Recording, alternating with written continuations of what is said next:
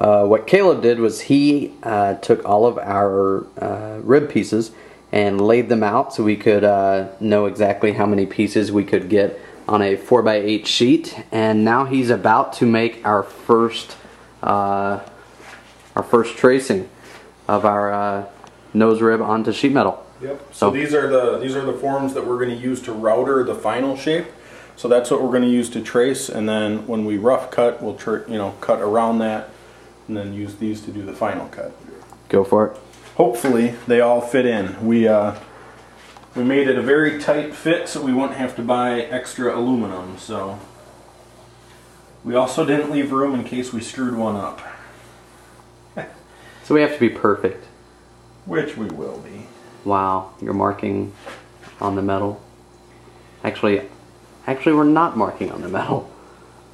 On the plastic. We left the plastic on. We're gonna give that a try. Which it seems to be marking okay. The only thing I'm worried about is then if it acts like a dry erase board and just smudges. So we'll test it out and see. All right. Go for it. Woo! Nice. Nose rib. No smudge. All right. So then, So now we take that and we duplicate it many, many, many more times. and we kind of alternate it um, rather than doing them all side by side in the same direction, so that we can use as much of the metal as possible.